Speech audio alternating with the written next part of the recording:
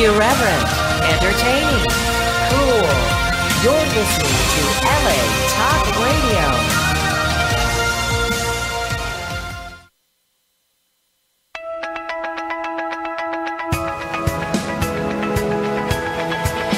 You're listening to Peace Fund Radio with Ethan Dettenmaier and Adrian Paul. Right here on LA Talk Radio. Hello, hello, hello, hello. Oh, this mic is very low this morning. It's probably from the girls that were in the studio before me. Do you think they're lower than me? I'll, I'll take that a different way. Anyway, um, Ethan, uh, Ethan's shaking his head at that comment. Why are you shaking your head while you're doing your Twitter or Instagram on the other on the other line there? It's actually I'm I'm texting one of our affiliates. Affiliates. we have affiliates. We do. Where are, where are our affiliates? Uh, this one is in Philadelphia, actually. Actually, No comment yet on uh, your hilarious stylings before the show, but I'm sure we'll get some. Sorry, what was that? What? What? What? what? Hold on, I got to concentrate on this. He's concentrating. I'm sorry, everybody, but this morning we have a show that's going to be packed with different types of um, conversations from around the world, actually, and we will be around the world. We'll be uh, joined in South Africa this morning in uh, an undisclosed location by John Beerley, who's you know always On in the- deck. Oh, he's on deck. There he is. He's he's in the background there. Um, you know, and uh, we'll also be joined by one of our heroes of the week, who's in another undisclosed location this morning. But we'll find out where she's call- calling in from. How are you doing this morning, John?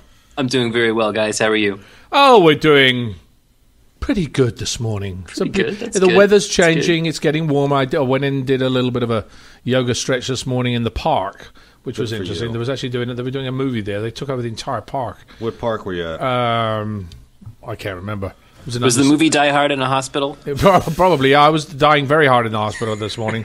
uh, but uh, yes, we're um, anyway. Uh, this morning we're going to sh- we, obviously we have we talk about a lot of different things on um, on Peace Fund Radio. And we've not ever talked about something which is. Which it has a very large impact in many countries across the world, and that's malaria. Um, we're going to be talking about um, I brought in a, uh, a an esteemed colleague today, and to call him esteemed colleague because I've known him for 30 years.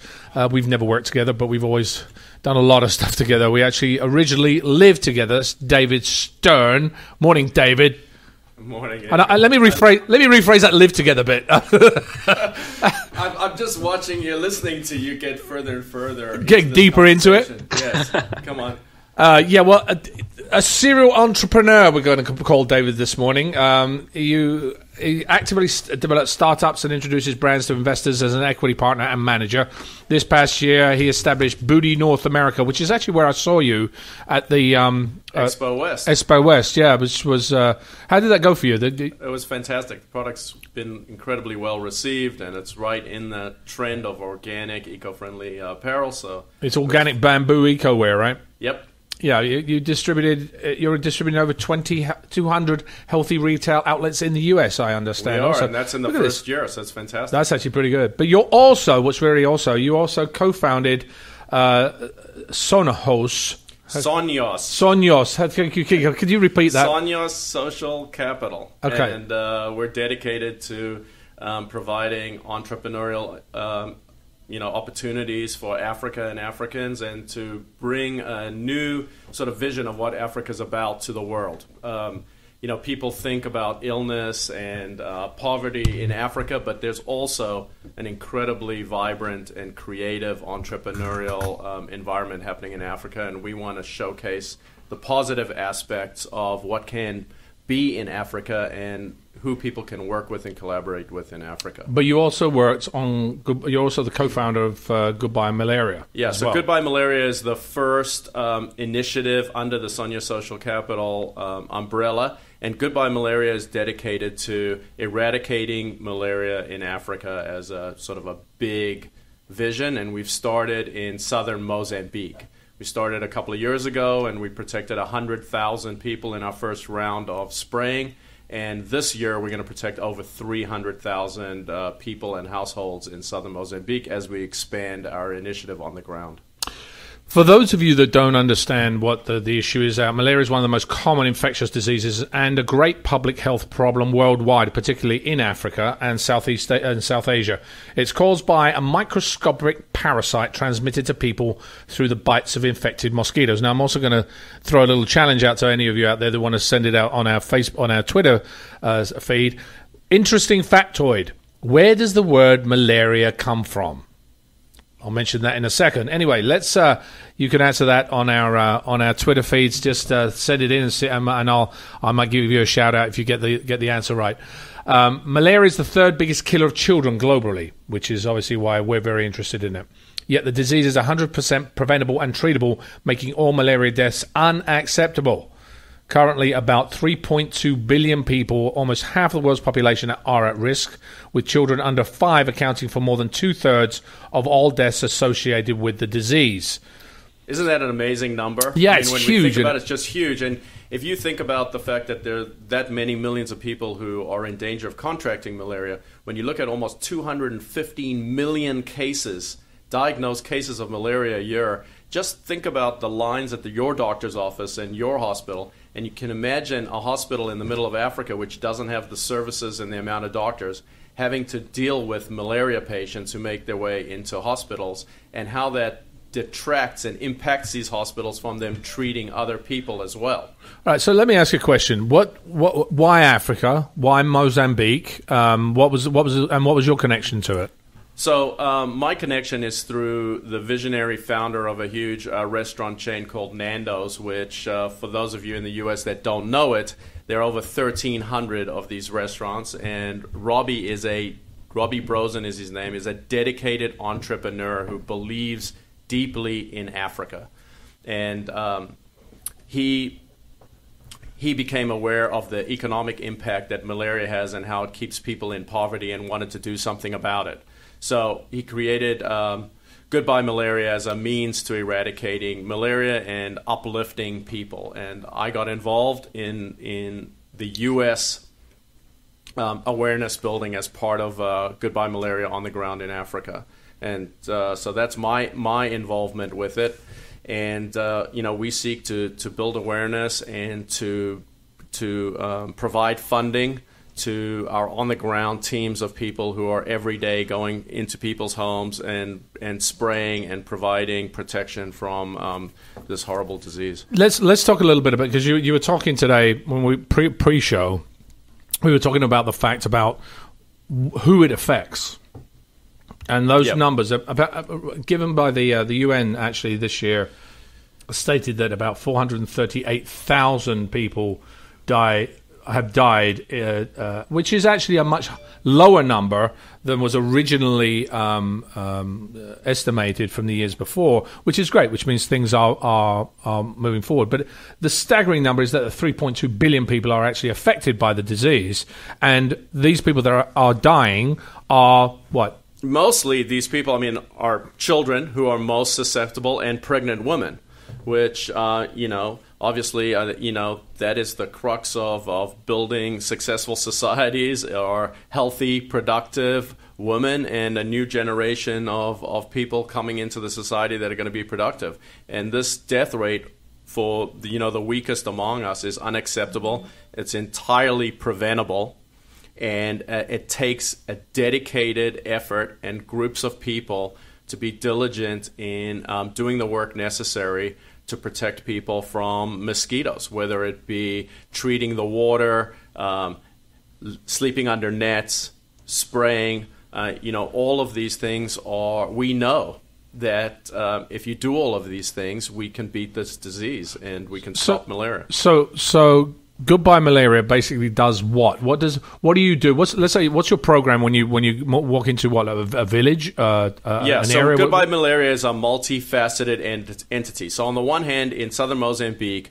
we're going out day in and day out, and we are um, spraying. We use indoor residual spraying. It's called IRS, and we um, work with local communities. Um, we let them know we're coming in. We remove everything from their homes. We spray their homes, and that's good for being protected for about six months. So we need to do the spray programs twice per year um, in each home. So we have a group of people that we employ We train, we run it like a business. Um, they go through a boot camp, a, a six plus week training process.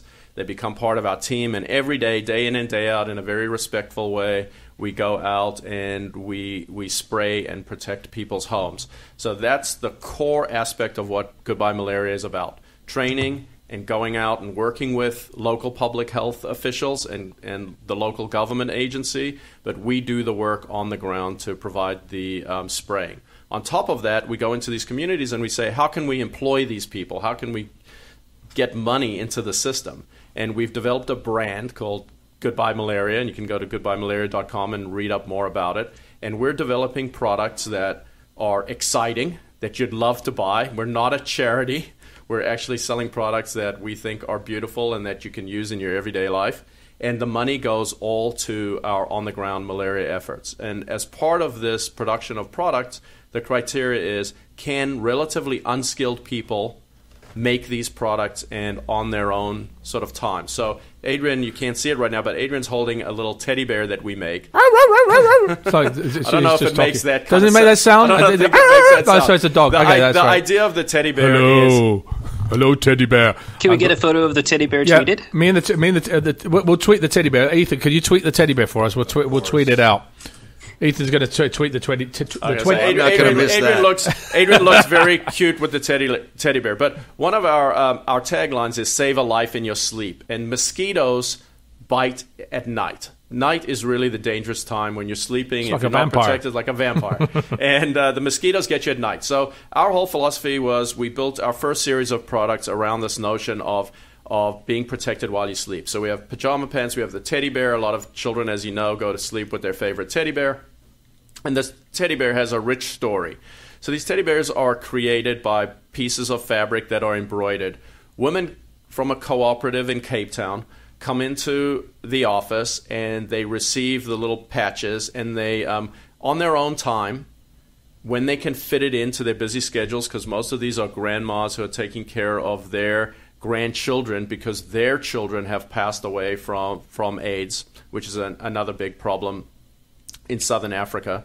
And then we give them fair wage, more than a fair wage, for each piece that they embroider. They bring those embroidered pieces back to our facility, and these pieces get put together and sewn together, and they end up being a complete teddy bear. Now, the economic impact of this money going into these communities and these townships is incredible. I mean, we've heard stories of women who do nothing but embroider these patches who are now putting their children through university, enabling their next generation of children to have educations, which is just critical to future um, economic development in Africa. So that's one product that we developed. We have a, a bracelet that's also made in senior citizen type cooperatives where people come every day. They they receive breakfast and lunch, and they have a real community.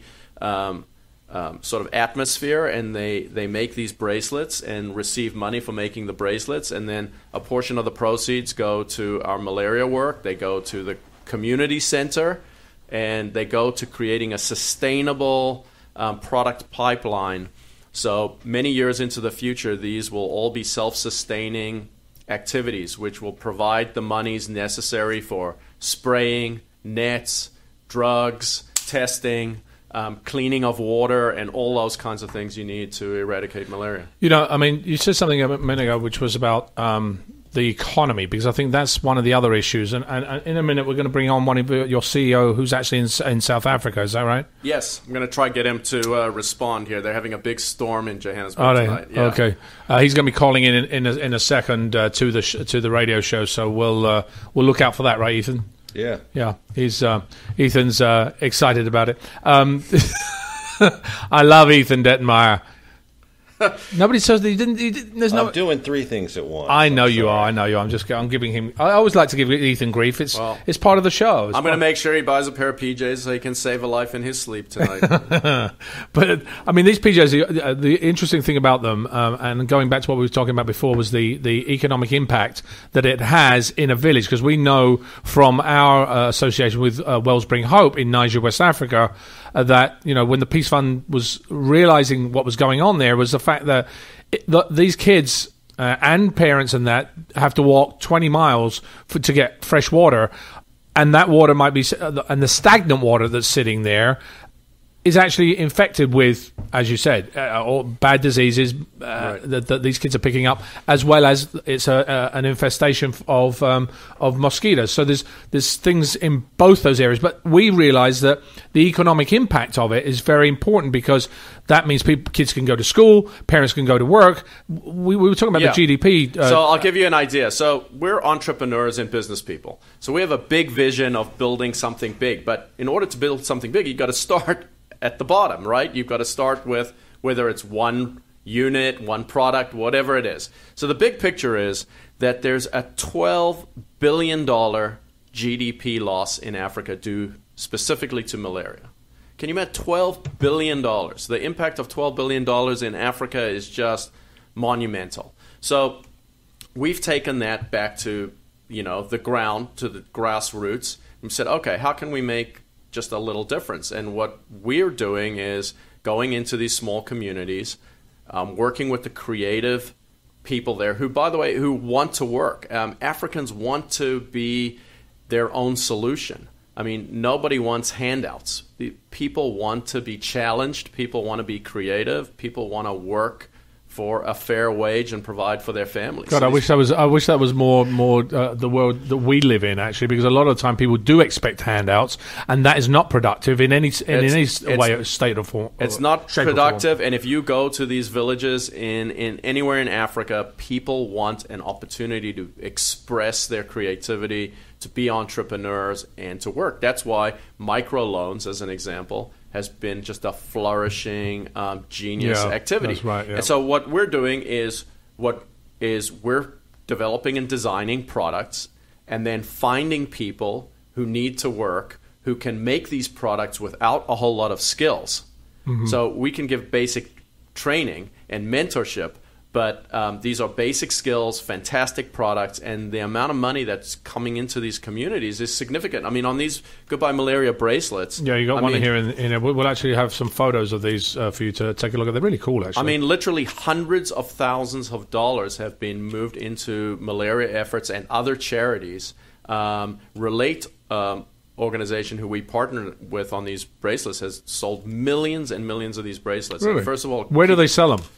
All over the world. I mean, uh, you know, we've they've done partnerships with all kinds of brands uh, you, who um, create bracelets with their own logos on them. We have a Goodbye Malaria um, bracelet, which we're sending all the proceeds to our malaria efforts. But you have the Save the Rhino bracelet and the Save the Whale bracelet and a HIV/AIDS bracelet. I mean, so there, and uh, United Methodist Church uh, did a custom bracelet for their initiatives. So you know they're making bracelets day in and day out by the thousands and employing dozens and dozens of people in the poorest townships in Cape Town called Khayelitsha.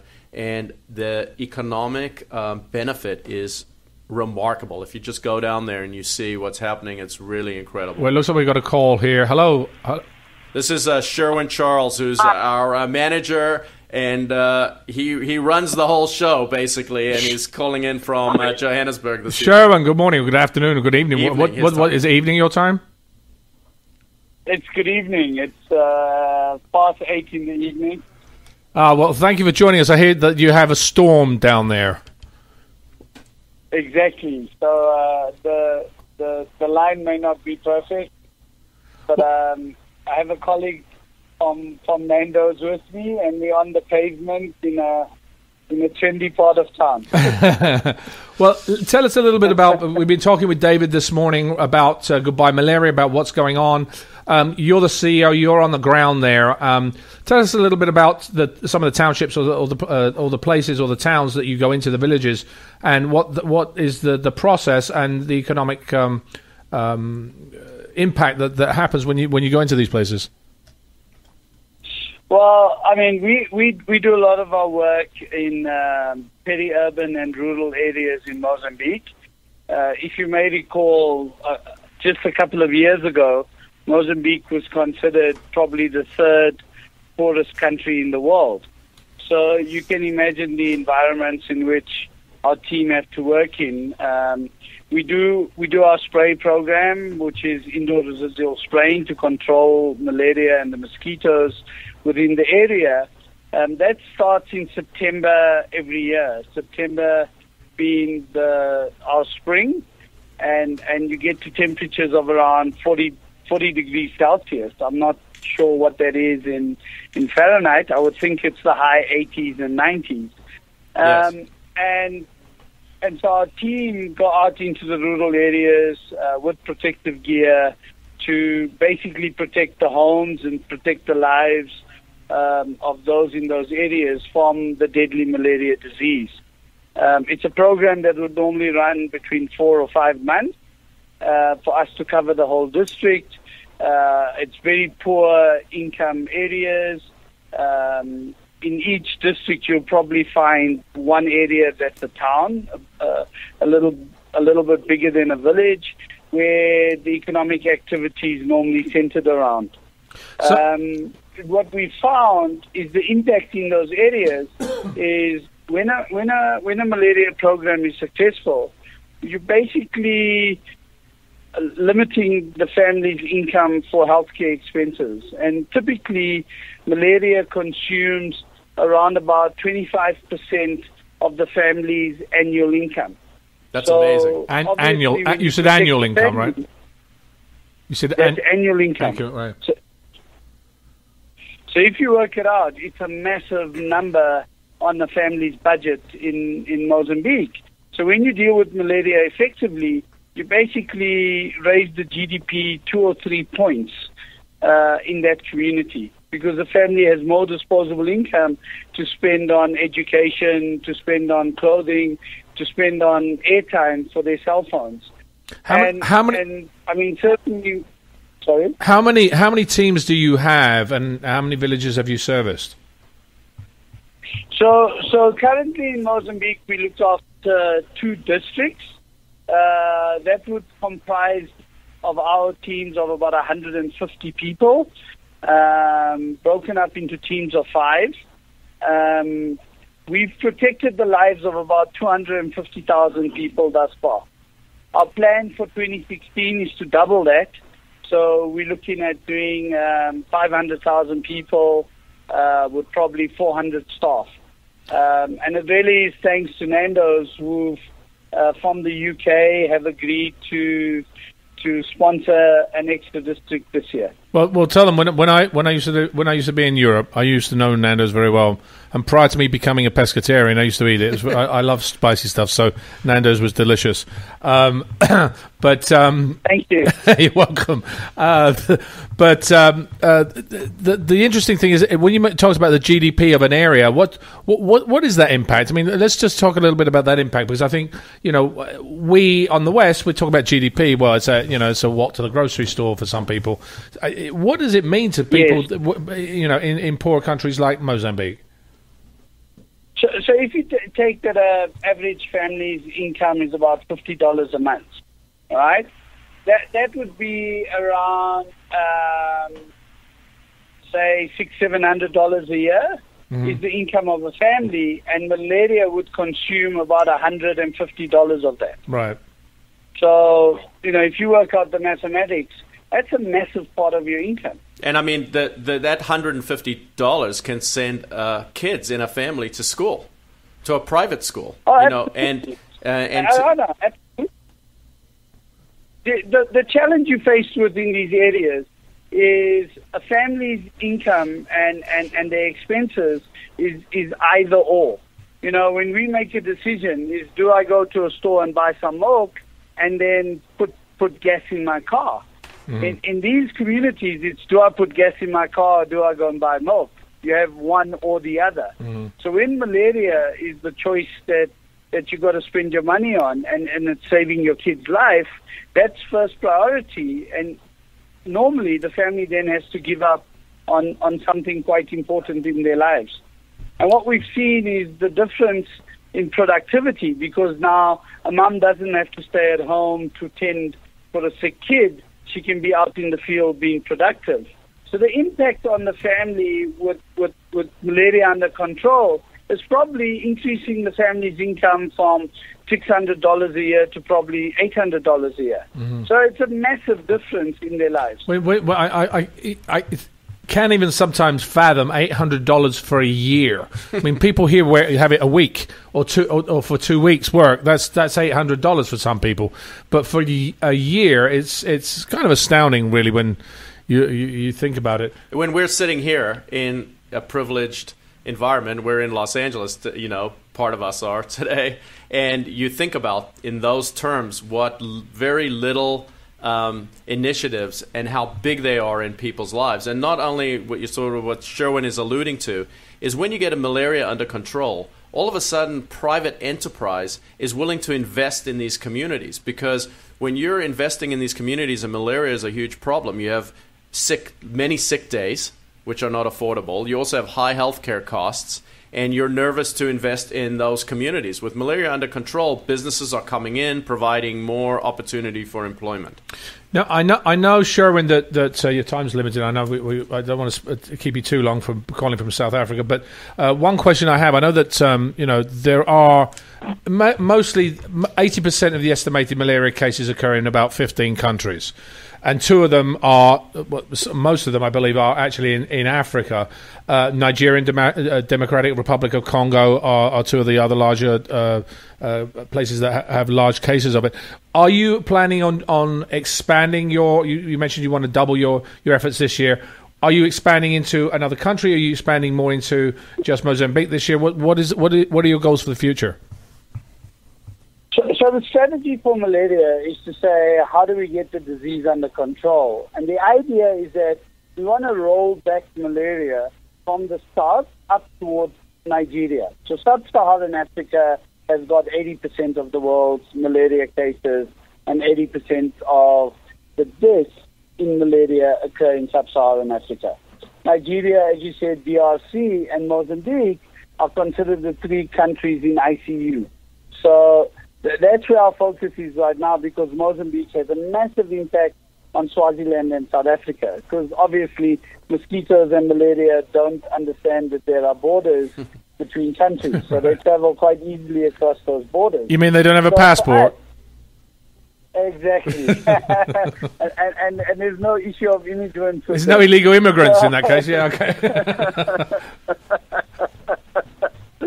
so, so what we find is that is that if we roll the disease and get elimination to start at the southern tip of Africa and we roll it up the continent, we'll then be sorting out everything from the south going up. So that's why we started in Mozambique and that's why we started in southern Mozambique. We make a difference in South Africa, we make a difference in Swaziland, and then our idea is certainly to go all the way up to DRC. At the same time, we have colleagues and, and other uh, people invested in malaria looking at how do they come from the north down. So coming from the Sahara Desert, pushing the disease down back towards Central Africa. And that's kind of the global plan to deal with malaria, is to push it from both ends until you get a very small sliver in the middle that one needs to deal with. Yeah, but sh- how do you eradicate the disease? Because obviously it comes from a mosquito. How do you eradicate the actual disease yeah. itself? I mean, there's the, the other thing. I mean, you're spraying, which is stopping them from biting, but can can can it be eradicated yeah. at the base level? Absolutely. The, the, the amazing thing about malaria compared to cancer and HIV and AIDS and, and all the other uh, diseases is that is that malaria can be defeated. So so uh, there's medication, current medication on the market that will clear your blood of the malaria parasite in your blood. So, so that is totally possible. So when we talk about eliminating malaria and eradicating malaria, it's been done in Sri Lanka very recently. It's been done throughout the States, throughout Europe in the 60s and 70s. Um, there's been there's stories around the world of, of, of the disease being defeated. It's not a disease that one has to live with anymore. The, the, the tools are there to eliminate the disease. It takes just a disciplined implementation strategy that, that gets the work done. So part of the challenges for the African governments and ministries of health, they're working in very tough conditions in rural areas. Logistics is a massive challenge. So we found that a partnership with the private sector, uh, together with a business mindset, we've been able to make um, a lot of progress in a short space of time. So certainly from, from our side, we, we fully, I mean, we believe in our lifetime malaria can be defeated. And it's all about execution and just diligence to the work of the ground and providing funding. So what's unique with what we're doing with Goodbye Malaria is we're committing to to eradicating malaria in these uh, villages that we're active in, but we're also creating um, economic empowerment so that we can sustain this, so that governments aren't on the hook, and, chari- and, and we're not requiring only donations to keep the work going. So our idea is to develop sort of a brand that is dedicated to fighting malaria, that are bringing people products from people who need the work, and the money going back into the communities and going back into malaria fighting. So Well, Sherwin, thank you for joining us this morning. Um, I think uh, uh, David will uh, continue the, the fight at this end, but uh, I congratulate you on your efforts, and uh, I, I wish you much success into uh, reaching those numbers that you quoted earlier on. Thank you very much, and uh, thanks to all your listeners who support Goodbye Malaria. Thank you very much. Thank you, Sherwin. Thank you for joining us. uh, take care, Sherwin. Uh, bye. So, I mentioned earlier on, where does malaria come from? Interesting fact the word malaria comes from the Italian malaria, meaning mala aria. Aria means air. In the 18th century, Romans thought that malaria was caused from breathing in bad air in marshy areas. In 1880, scientists discovered that this was not true, but the name stuck. So that's where it actually comes from, mal- mala aria. Ma- ma- it's, it's Italians. Well, you it's being a Italian, country. you should- It's you- a my country. It's a my, yeah. Um, You're just showing us how smart you are. that's what I like to do. I like to show you. Well, actually, we actually do have World Malaria Day coming up on April 25th as well. Um, uh, for half the world, every day is Malaria Day. It's a day to keep up the fight against the, the killer disease. But we do have World Malaria Day on. Well, it's on, coming uh, up on April 25th. 25th. There are a whole lot of global events planned. Um, obviously, what we want to do is we want to get people um, to party in their PJs. You know, get your goodbye malaria PJs, have a disco party, have some fun, chill around the house. Um, think about how lucky you have it, and uh, think about how great it is that some of this money, is, uh, most of this money, is going towards uh, fighting malaria on the ground in Mozambique. So we're, we're taking a very positive outlook at this. We want to celebrate African ingenuity and creativity and entrepreneurship, and we want to create mechanisms for fighting malaria to be so self-sustaining and not require handouts. All right, let's get to our hero of the week. Uh, we'll come back a little bit more about that in a second. John, uh, John, David. We'll have John on in a second. John, are you there? Bring, I am. I am. so, uh, tell us a little bit about our hero of the week. And Well, uh, every um, every week on Peace Fund Radio, we bring you the hero of the week, a young person who is doing something amazing for other young people. Today's hero of the week is Kritika Singh. She founded an organization called Malaria Free World at malariafreeworld.org. Their motto is Together we can end malaria worldwide. And Kritika is joining us to let us know how they are going about that. And we are bringing her on as we speak. So we'll uh, we'll bring her on actually right now. Uh, while we're doing that, uh, another interesting fact that uh, some of you might not have known. I, li- I like these facts in the morning because they actually gives you factoids. Originally known as the Communicable Disease Center, the CDC was formed to fight malaria. Did you know that? It replaced the Office of Malaria Control in War Areas, a, a World War II era agency that did exactly what you'd expect. The CDC was headquartered in Atlanta rather than Washington, D.C., because the South faced the worst threat from malaria. And after a series of name changes, the CDC eventually became known as the Centers for Disease Control and Prevention. So that's what they were originally formed for. I did not know that. Yeah, there you go. and I Um, believe we have Kritika on. Kritika, are, uh, do we do we have you online? Hi, yeah, I'm right here. Good morning, Kritika. How are you? Good morning. I'm good. How are you? Where, where you? I'm, I'm actually not bad. Actually, this morning. Thank you for asking. Um, where are you calling from this morning? So I'm actually calling from Virginia. I'm uh, sitting in the library of my high school, Thomas Jefferson. Um, we just had a tornado warning, so I Oh, just ran back in here. You ran back. Okay. Hopefully, you're okay there. Oh dear. it was just a drill. okay. I was a drill. Okay, that's good. H- how old are you, Critic? I think you're 18, aren't you? Uh, yes, I'm 18. See, I know all the facts about you. um, when did you first learn about malaria? So actually, um, it's an interesting story. My parents are both from India, so I grew up like hearing about malaria and how my mom had it every year. Uh, but I never really realized how much of a problem it was until about two years ago. I was um, 16 and working at a pharmaceutical company. I was doing a summer internship there, and um, I was working on malaria research, and that's when I first kind of started getting into malaria. So, so tell me, what, what is malaria research? What, what, what, what did you have to do? What were you, what were you looking at? So I was actually studying uh, malaria is caused by the parasite Plasmodium. So uh, the company I was working at, they have this amazing mechanism for fighting cancer, and they wanted to see if that mechanism could be used for malaria as well. So my job was to basically test the drugs they had on enzymes that were found in the malaria parasite, and so it was basically just a lot of wet lab research. Um, and then while I was researching for it, actually, I um, had to write a lot of grant applications to get more funding for the project. So that's when I studied um, the background of malaria. I got like all these statistics about how a child dies every minute, which is now 90 every 90 seconds. Um, two years ago was every minute. Um, and then I realized how half the world's population is at risk. So that's kind of how my whole life has now become malaria because of that one summer. Well, it's, it's interesting. You mentioned that two, uh, a couple of years ago it was once a minute, and we actually had some Mm-hmm. of that in our uh, in our information, and now we realise that, that that number has gone down because of organisations like yourself and like. Uh, um, our, our estimable guest this morning, my friend David Stern. Good morning. Say, uh, David's in here from Goodbye Malaria as well. So there's two different organisations in this uh, in the studio today. Tell me a little bit about why you inspired um, Malaria Free World. Yeah, so Malaria Free World, uh, the original goal of it was to raise awareness about malaria research and to get kids excited about STEM, science, technology, engineering, and math, and to get them interested in going into diseases like malaria. Because, um, so I, w- I live in Virginia, but I was up in Boston doing this internship, and I used to call my friends back home and talk to them about my work. And a lot of them were doing cancer research or Alzheimer's research, um, and they were just like, Kritika, why are you wasting your time on a disease that doesn't matter? So I realized that there's this huge gap in understanding for our generation, particularly because we don't see infectious diseases as a huge threat because they don't affect us directly. Right, So that's why I started Malaria Free World. Just to, we originally went to middle schools and elementary schools and got kids excited about malaria. We told them how it's caused by mosquitoes. They were interested in learning about the mosquitoes and how um, originally I thought that it was a, a disease um, that mostly affects children. So I think it's fitting that we're a group of teenagers who are fighting it. So, so tell me, your your mission statement is is is what exactly?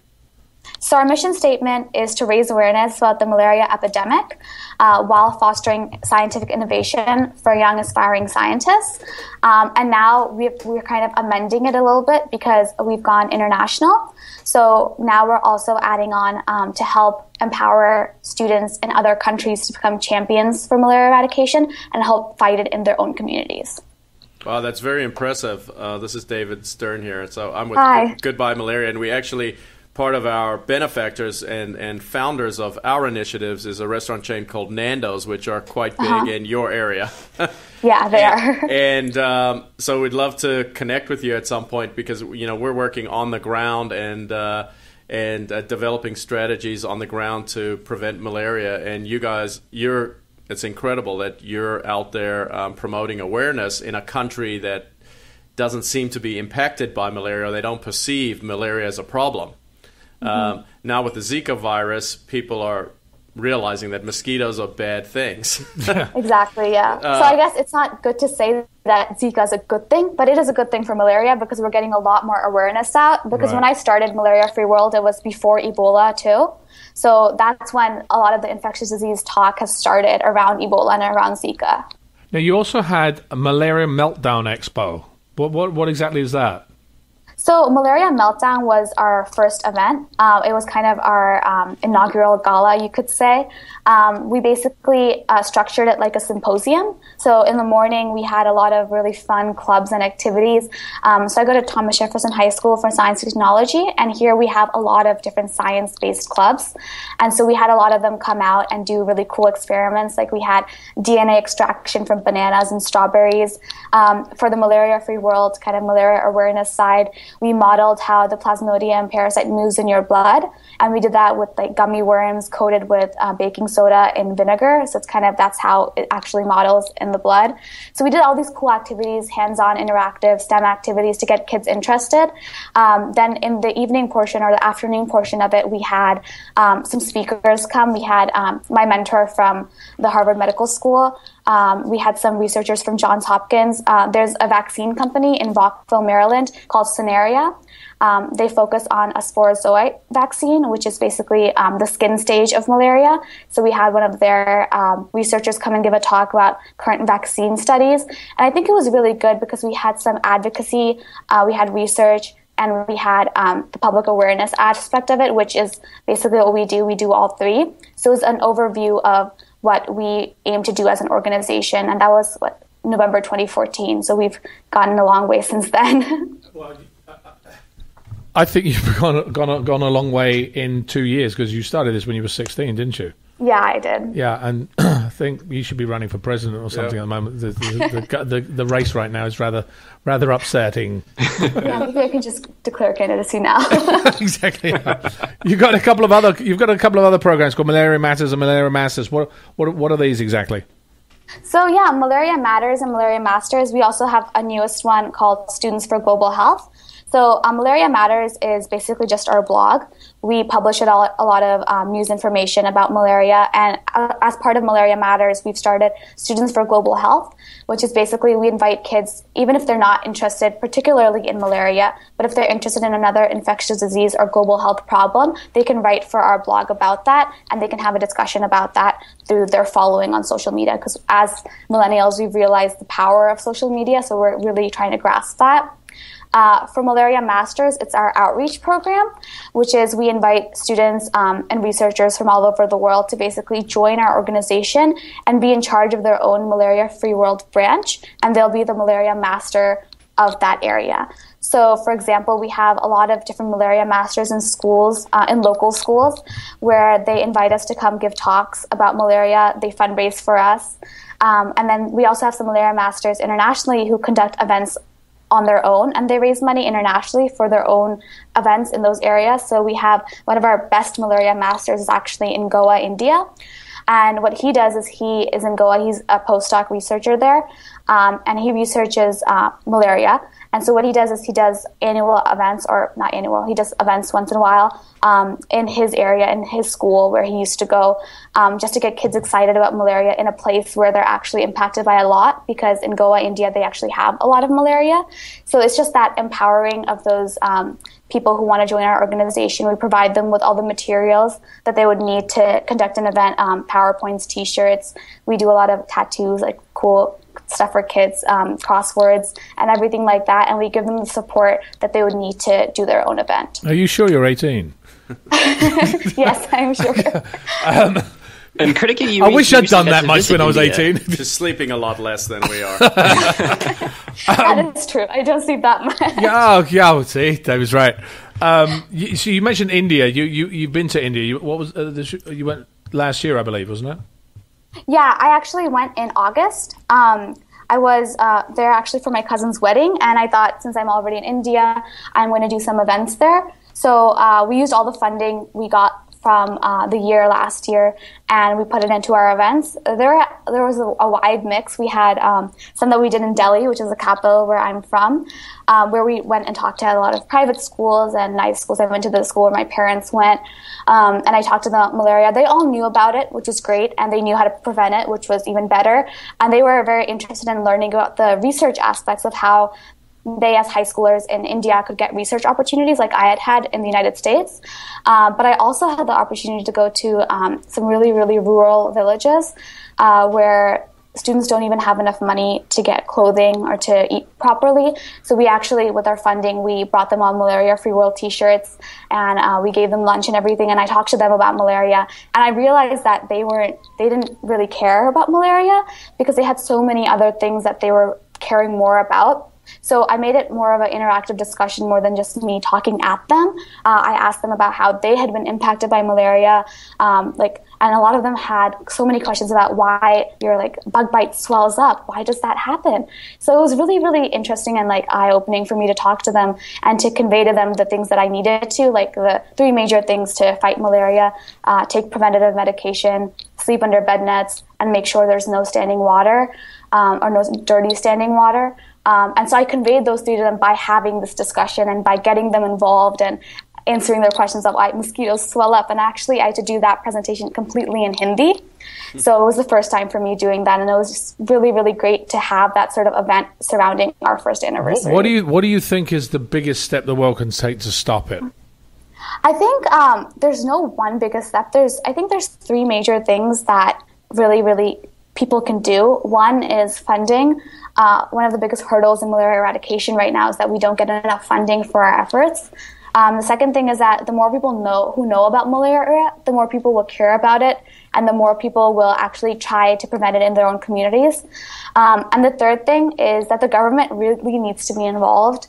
Um, I was actually at Capitol Hill last week. I was lobbying um, senators and congressmen to increase the budget for the President's Malaria Initiative, and they work in around 17 countries um, in Africa, and they're trying to expand to the Thailand Cambodia border where resistance is emerging right now.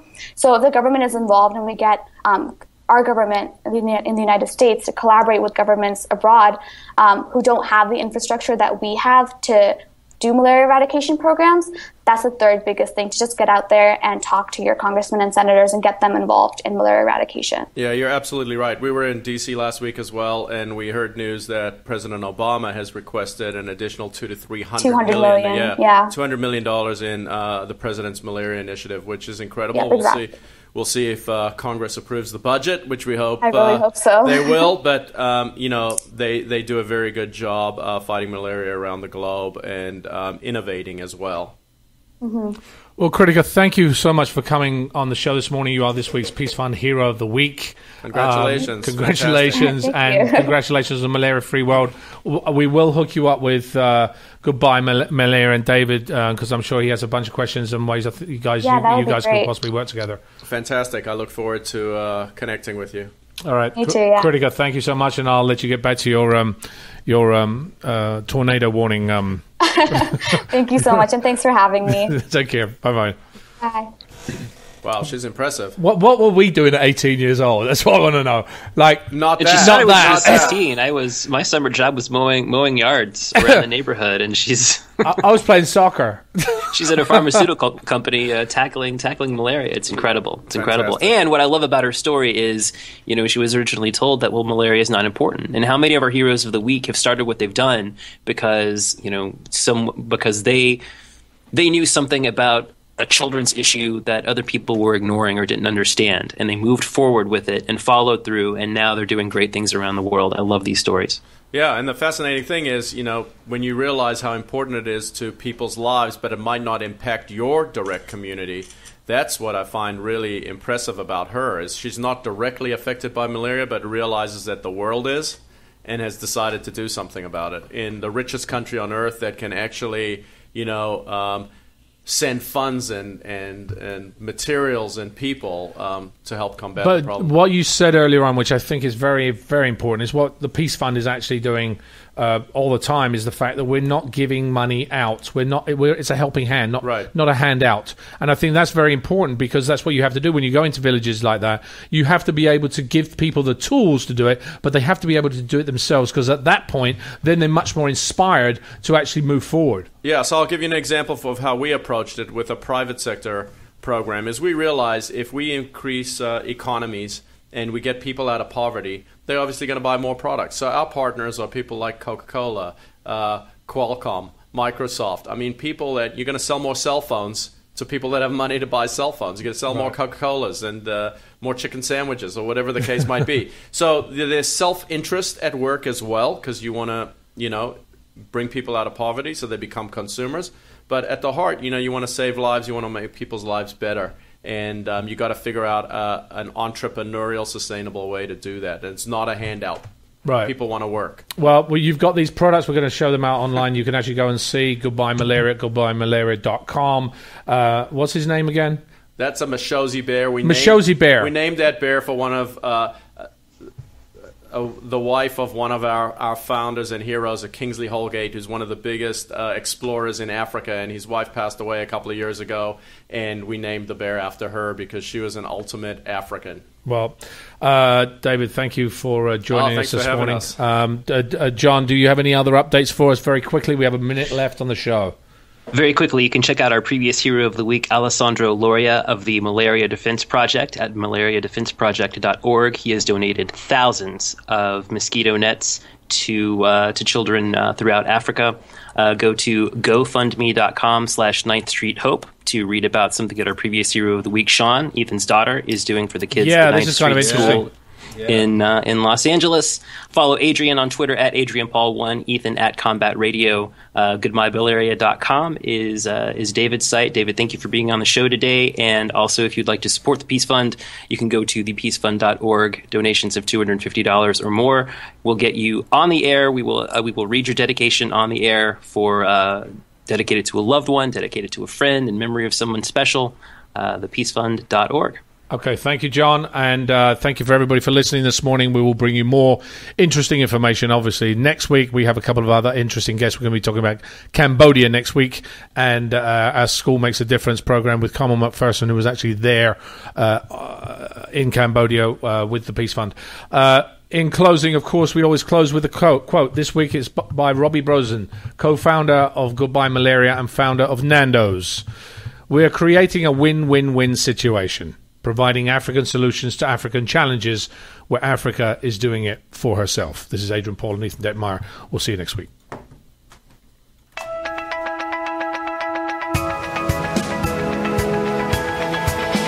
You're listening to Peace Fund Radio with Ethan Dettenmaier and Adrian Paul. Right here on LA Talk Radio.